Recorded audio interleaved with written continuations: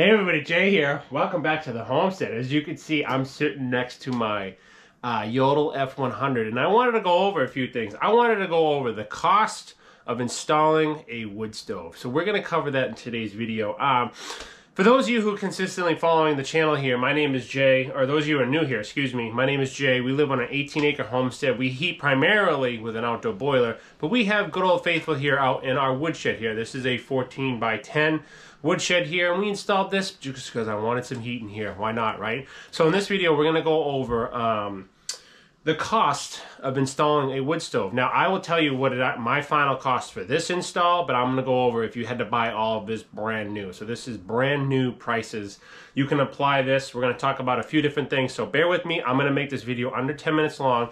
So without further ado, folks, let's get right into it. First thing you want to talk, you want to uh, look into is permits and insurance. That's number one that you want to deal with and you want to calculate. Depending on your country, where you live, uh, your state, um, you may not even be allowed to have a wood stove for heat. So first thing you need to do is calculate insurance um, slash permits to see if you're even allowed to. So if you're allowed to, let's continue on. That's your first step you need to figure out your home insurance and if it's if you're allowed to in your certain area. So let's go ahead and get ready. We're going to work our way from the ground up. So the first thing you need, and I have a list here on uh, my phone here, so excuse me if I if I'm looking down here. The first thing that you need to consider is a hearth. Uh, now a hearth is what actually sits underneath the wood stove. My Jotul F100 here, I have seven and a half inch legs on two inch bricks on one inch of cement board and I'll overlay some video of that. Um, so we have plenty of protection here for plywood. If you're mounting your wood stove on a concrete floor, don't quote me on this, but I'm pretty sure you don't need a hearth. But hearth pads range anywhere from a good hearth pad, according to Google, is anywhere from $150 to $800. Um, and I'll overlay a photo here. Now, you can do what I did, and I'll talk about that later real quick. But I just used some cement board and some stone. That's all you really need. Again, if this is permitted and this is you need to have everything approved you need to see if you can get away with that or if you have to buy an actual legit hearth pad so that's the first thing is your floor protection for me cement board two inch pavers good enough for now. I'm redesigning the shed. I'm expanding it in the spring anyway so we're going to move a few things around. So for now this will do. So that's the first thing is hearth pad ground protection. next thing you need to deal with is wall protection. If you can see behind me here I have some, and I'll overlay a clip of how I did it. I have just some metal corrugated roofing panels on two and a half inch spacers and actually behind that I have the leftover pieces of cement board. So this is what's called a heat shield, a protected surface. This again it, it, it varies on your stove but I've done I had to do a ton of research to put this all together to make sure this was compliant and make sure this was acceptable.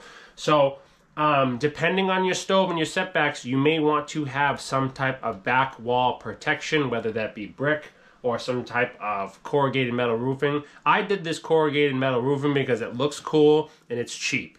So that's another way to do it. So you need floor protection and wall protection before you even get into the actual stove. When it comes to stove, you can spend literally anywhere from $1,500 to probably $4,000 on a good wood stove. This Jotul F100, again, a quick Google search, Jotul F100 freestanding wood heater is $3,000. This one, obviously, I got for free from my father-in-law. He had it in storage for years.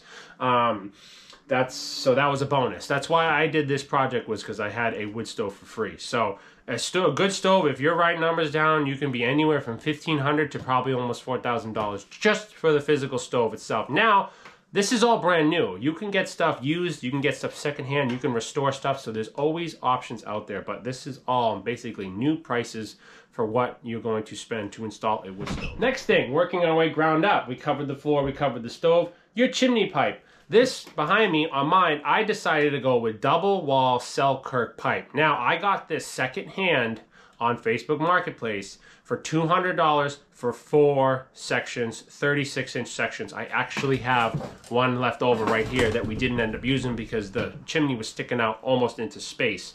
So again, a quick Google search and I'll overlay a picture. Selkirk 6 inch by 36 inch stainless steel double wall pipe is $125 a section. So if I was to buy this new 125 times 4 is 250 is $500 for double wall pipe.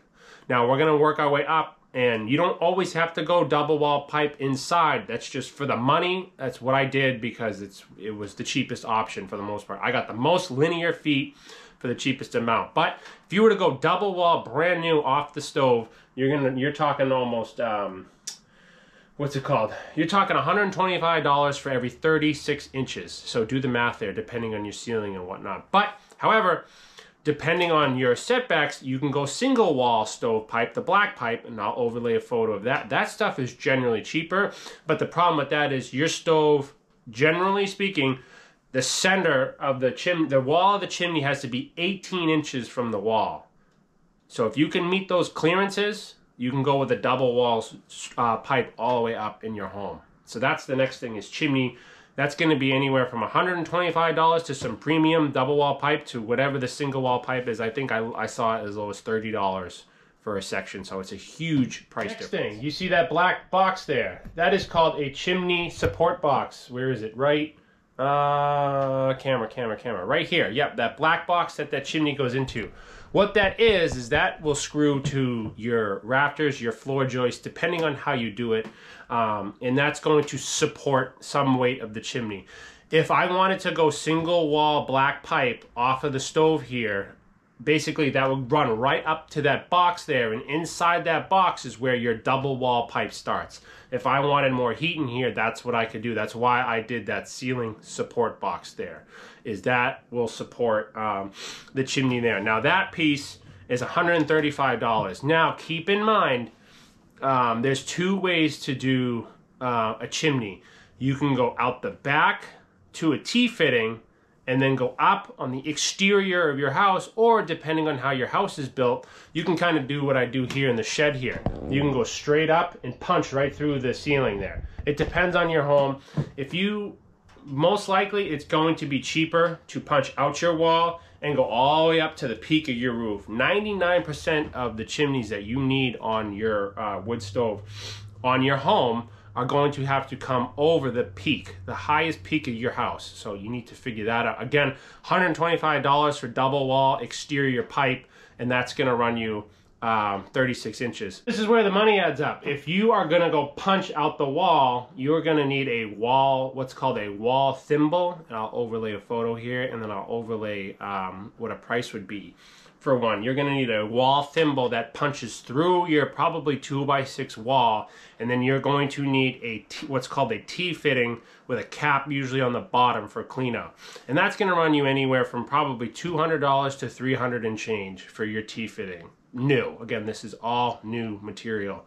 And then obviously you're going to need the support bracket that goes with it. Let me find that and I'll tell you how much that is. So right here, and I'll overlay a photo, Selkirk wall support kit, exterior wall support kit for T fitting is $160. So you're already talking two to 300 for a T fitting and then another 160 for the support bracket and you haven't even gone up yet. The chimney prices are honestly I could not believe the price, the cost of chimneys, uh, stove, the double wall pipes. That's probably adds up to be probably more than the dang stove, if you ask me. So working our way up, we did the support box. We talked about the thimble going through the wall. And now let's talk about your roof. You're gonna need all types. If you're punching through your roof, you're going to need what's called flashing boots and flashing gaskets, things of that nature. I'll overlay some photos here. Um, what I did on my, I had a metal roof here. I have a metal roof here on the shed. I ended up doing a high silicone heat, not that EP something acronym. You need the high temp silicone heat uh, rated up to I think 550 or 600 degrees, and it screws through the metal roofing, and you put some caulking around. I'll, I'll, overlay a photo. That's kind of the cheap way to do it if you have a metal roof. But if you're punching through a shingle roof, it's a whole different story. You need flashings with the correct pitch of your roof uh, in order to not have any leaks onto your um, onto the uh, plywood that's underneath your shingles if you have shingle roof. But however, if you're blowing out the wall and going up the side of your house, all you need is support brackets going all the way up. So I'll, again, I hopefully I'm overlaying some photos and hopefully this makes sense. Um, but needless to say, I did a lot of research with installing this wood stove here in my shed, and I was blown away by the costs of everything. So pretty much that covers it. Let's do some rough totals here. So I'll overlay right here, generally speaking, um, the cost of things to get you started. Um, keep in mind, it's about $125 for 36 inches if for a chimney. So if you have to go up, that's three feet. Uh, 3 times 12 is 36, so 125 divided by 3. Oh, I love math on camera. Uh, 40, 80, 120. It's about $40 a foot, depending on how high of a chimney you need. So keep that in mind, about $40 a foot um, for double wall exterior chimney, and then obviously all your support brackets and stuff. So as far as calculating what you need on your house, um, you can use that as a good base, about $40 a foot for your chimney. So if you have a 20 foot chimney, that's going to be about $800 in double wall pipe. So needless to say, hope you guys enjoyed. Hope I covered some costs here of um, installing a wood stove here. So yeah, thanks for watching guys. Let me know what you think. If you have any questions, um, always, feel, always check the marketplace too. I scored almost all of this stuff secondhand off of demolition jobs or people were just done with wood heating. So you can get some really good, and I'll overlay um, a couple photos here, some ads I almost bought um, on different parts of New Hampshire that people were selling pretty much half price MSRP. Um, just secondhand, gently used stove. So the prices are out there. So hopefully you learned something. Let me know what you think. God bless. Thanks for watching, guys. Stay safe. If you're going to do this, make sure you do all the proper channels, read your owner's manual, all the proper setbacks. I didn't go over any of that in this video because it varies per stove. Um, so yeah, do your research, do your homework, and stay safe. God bless, and thanks for watching, guys.